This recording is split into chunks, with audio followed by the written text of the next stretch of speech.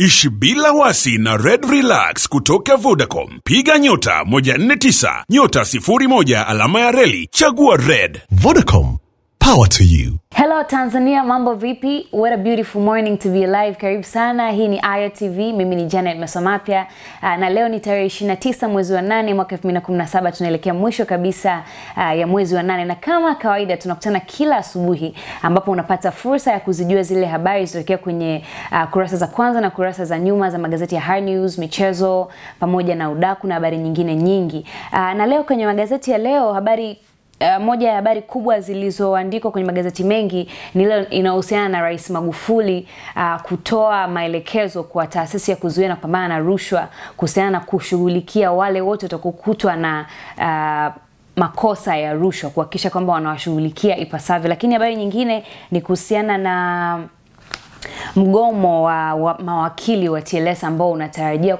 kufanyika siku hii ya leo. Kwa moja kwa moja tukianza na gazeti la Mwananchi, habari yake kubwa imeandika bomoa bomoa nyingine ya kufa mtu yaja daa.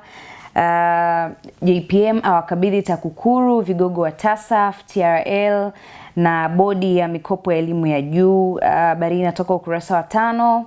Habari nyingine inasema lori la ua watu saba la jeruhi 42 Singida. Habari inatoka ukurasa wa tatu. Hoteli Dodoma kuvunjwa kupisha makazi ya waziri mkuu. Zito asema nikiteuliwa na rais nitakataa. Bulaya aruhusiwa Uh, kufanyiwa upasuaji nyama za pua. Habari inatoka ukurasa wa tano. Habari nyingine ni tamko la TLS la we, lawekewa mawakili, lawaweka mawakili njia panda. Uh, shilingi bilioni moja point sita za Akasha hazionekani zilipo. Hizi ni habari zilizotokea kwenye ukurasa wa kwanza wa gazeti la Mwananchi, na tukisoma uh, kwa ufupi habari zinatoka ukurasa wa kwanza ni pamoja na ile Bulaya kuruhusiwa uh, kufanyiwa upasuaji nyama za pua. Habari inasema mbunge wa Bunda wa Chadema Esther Bulaya ambaye ameruhusiwa kutoka hospitali ya taifa Muhimbili alikokuwa amelazwa atafanyiwa upasuaji.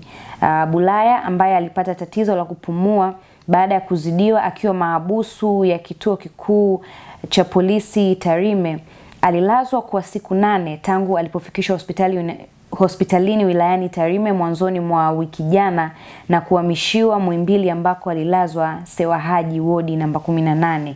Akizungumza na gazeti hili jana, Halima Mdee mbunge wa Kawe Chadema na ambaye amekuwa akishughulikia matibabu ya mbunge huyo tangu alipolazwa, alisema madaktari wamemruhusu kutokana na hali ya afya yake kutengemaa, lakini wamempa masharti. Hiyo ni habari inatoka ukurasa wa kwanza ambayo iko ukurasa wa tano wa gazeti la Mwananchi. Habari nyingine inatoka ukurasa wa kwanza inayosema shilingi bilioni moja nukta sita za Akasha hazionekani zilipo. Habari hii inasema kamati ya bunge ya hesabu za serikali PAC imeagiza shirika la madini la taifa STAMICO kufuatilia shilingi moja nukta sita bilioni ambazo ni tofauti iliyokuwa inatakiwa kulipwa na kampuni ya madini ya Acacia kwa ajili ya mfuko wa hifadhi, lakini hazionekani zilipo. Agizo hilo lilitolewa jana na mwenyekiti wa kikao cha kamati hiyo Jafet Asunga baada ya kuhoji shirika hilo kuhusu ripoti ya mdhibiti na mkaguzi mkuu wa hesabu za serikali CAG kwa mwaka wa fedha 2015 2016. Hilo ni gazeti la Mwananchi, unaweza ukapata nakala yako kujisomea habari hizi na nyingine nyingi. Uh, gazeti la Nipashe habari yake kubwa ni polisi yakiri sare kutumika ulipuaji. Habari inatoka ukurasa wa tatu. Habari nyingine inatokea ukurasa wa kwanza wa gazeti la Nipashe ni hoteli mnunuzi ndege ya kijeshi kufungwa. Uh, mzimu wa Lugumi ulivyoitesa kamati. Manjano mabasi wanafunzi pasua kichwa. Uh, Yanga yamtetea shishimbi wao. Uh, hizo ni habari zinazotoka kwenye ukurasa wa kwanza wa gazeti la Nipashe. Na tukisoma kwa ufupi habari hii ya polisi wasema walipuaji walivaa kipolisi, inasema jeshi la polisi limesema watu waliovamia ofisi za kampuni ya mawakili ya IMMA jijini Dar es Salaam na kuzilipua kwa mabomu mwishoni mwa wiki iliyopita walivaa sare zinazofanana na za jeshi hilo, lakini si askari wake. Limesema watu hao wasiofahamika walitumia mbinu ya kujifanya ni polisi kisha kuwarubuni walinzi wa kampuni hiyo.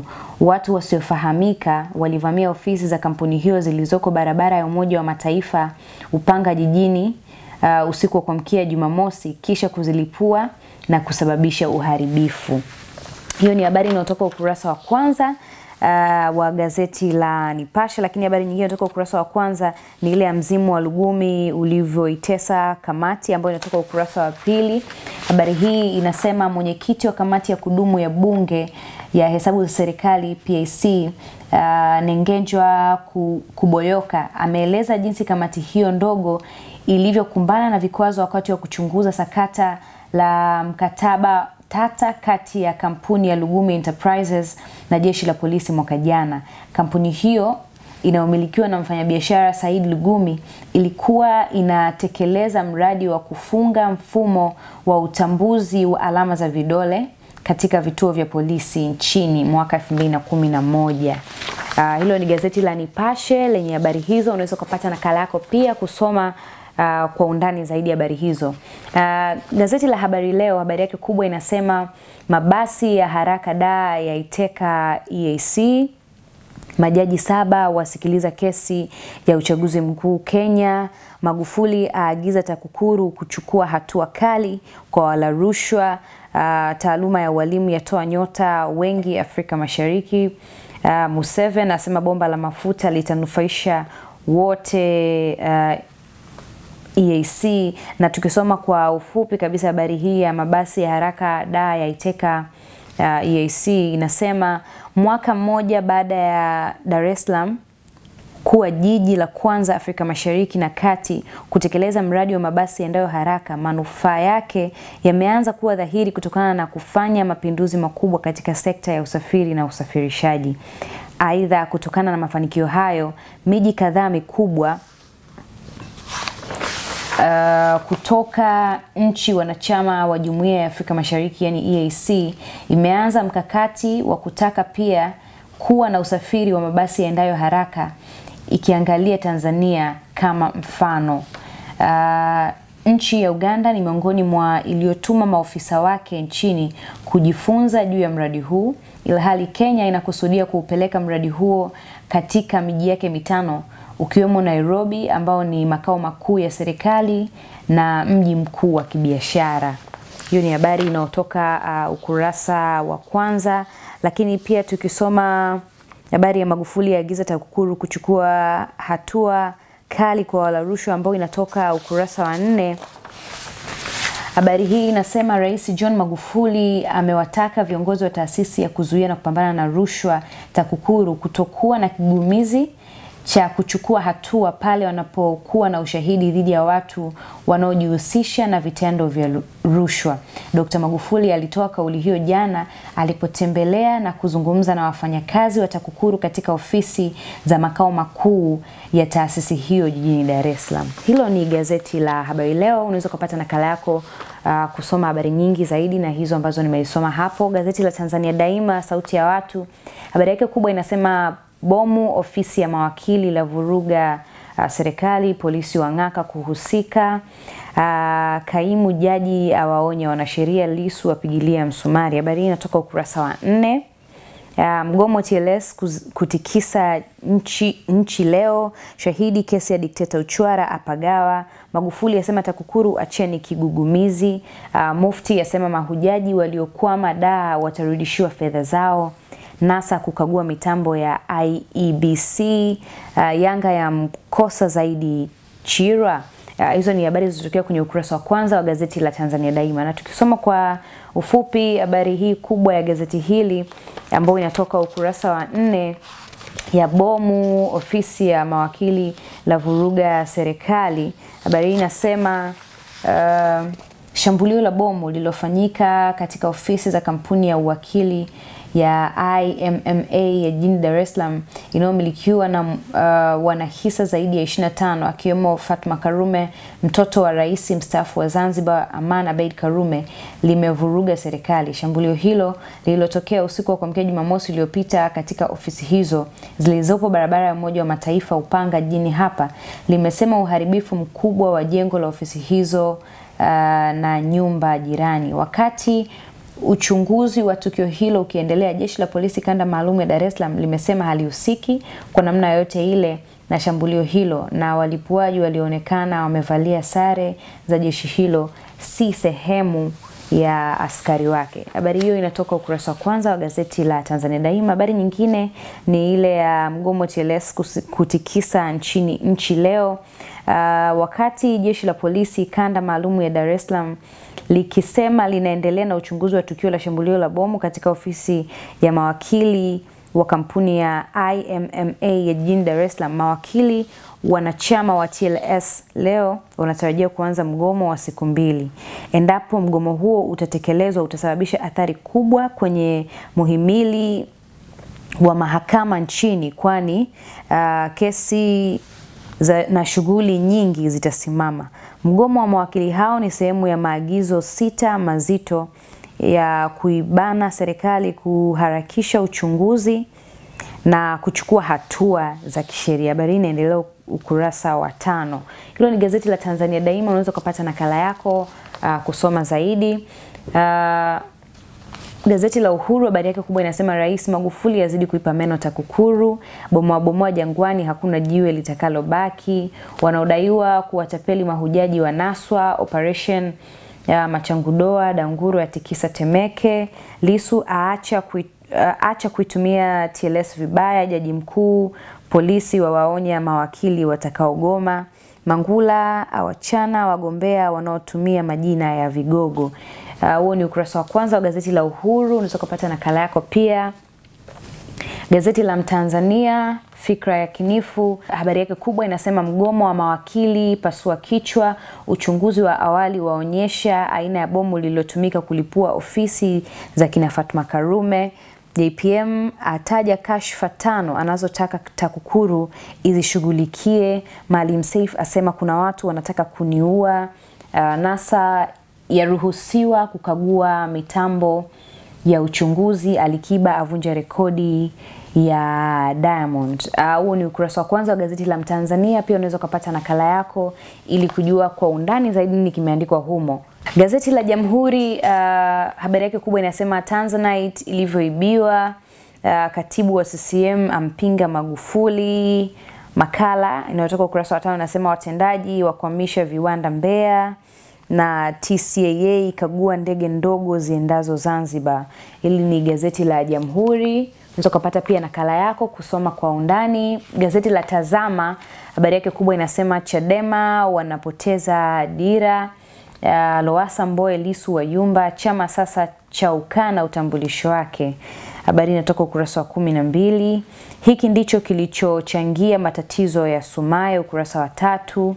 Uh, Maalim Seif Mbarala na akili za kuambiwa, ujasiri wa Magufuli kuhusu wakimbizi, faraja kwa wananchi mipakani. Hilo ni gazeti la Tazama, unaweza ukapata pia nakala yako ili kujua nini kwa undani kimeandikwa kwenye habari hizo. Na gazeti la Udaku la Uwazi limetufikia pia, unaweza ukapata nakala yako ili kujua nini kimeandikwa humu kwenye ukurasa wake wa mbele na ukurasa wake uh, wa nyuma. Zipo habari nyingi humu, unaweza ukapata nakala yako. Na kwenye magazeti ya michezo tunalo gazeti la Bingwa na gazeti la Mwanaspoti. Uh, gazeti la Bingwa habari yake kubwa inasema Simba yasema zile saba bila zili, zilikuwa za Yanga, wanadai safari ya Yanga Pemba iliyeyusha dozi hiyo. Hiyo uh, ni habari kubwa kwenye gazeti la Bingwa. Habari uh, nyingine ni Conte ni kupiga mzigo kwenda mbele Chelsea. Kamusoko atuma ujumbe mzito Yanga. Thierry Henry aipachika jina baya Arsenal. Uh, Kiba na Diamond watoana roho. Kiboko ya Shishimbi afunguka. Huo ni ukurasa wa kwanza wa gazeti la michezo la Bingwa. Ukurasa wake wa nyuma habari yake kubwa inasema sing'o king'o, Conte ni kupiga mzigo kwenda mbele Chelsea. Hamilton afanya kweli Bel, uh, Belgian uh, na Henry aipachika jina baya Arsenal, ambayo tumeiona ukurasa wa kwanza. Agosti ilivyokuwa neema kwa Real Madrid. Zidane amkingia kifua Benzema. Huo ni ukurasa wa nyuma wa gazeti la Bingwa. Kwa habari kamili unaweza kupata nakala yako ili kusoma kwa undani zaidi habari hizi. Gazeti la Mwanaspoti Uh, habari yake kubwa imeandikwa Shishimbi aleta beki Kisiki Yanga. Habari nyingine ni Simba utamu unakuja. Huo ni ukurasa wa kwanza wa gazeti la Mwanaspoti, na ikiwa ukurasa wake wa nyuma umeandika uh, fedheha Arsenal ya chanwa. Huo ni ukurasa wa nyuma wa gazeti la Mwanaspoti, ikiwa uh, burudani na mitindo. Habari uh, zilizoandikwa humu ni Wolper aliyesema Mungu ameniumba vizuri, hivyo sina sababu ya kujibusti kuongeza sehemu za mwili ili kuwa na mvuto kwa wanaume. Habari hii inaendelea ukurasa wa nane. Uh, Baby Madaha pia asema Kairuki tulishaachana siku nyingi baada ya kubadili fani, hivyo sina habari zake na sina sababu ya kumfuatilia kabisa. Pacho Mwamba naye amesema unaenda location na viatu na nguo kibao, lakini ukitaka kuondoka havipo. Ndo nini sasa? Hii inatoka ukurasa wa nane. Kwa unaweza ukapata nakala yako ya Mwanaspoti uh, kusoma zaidi mambo mengi yaliyoandikwa kwenye gazeti hili. Na mpaka hapo tunafikia mwisho wa uchambuzi wa magazeti kwa leo. Uh, unaweza ukapita kwenye website yetu ya millardayo.com ili kujua nini tumekuandalia kwa wakati gani, mambo mbalimbali, habari za kitaifa na kimataifa, burudani na michezo na mengine mengi yako humo kwa ajili yako. Pia usisite kutufuatilia kwenye mitandao yetu ya kijamii Instagram, Twitter, Facebook na Snapchat kwa jina la Millard Ayo, bila kusahau kusubscribe kwenye YouTube channel yetu ya Millard Ayo. Mimi ni Jared Mesomapya, hii ni Ayo TV. Uwe na siku njema.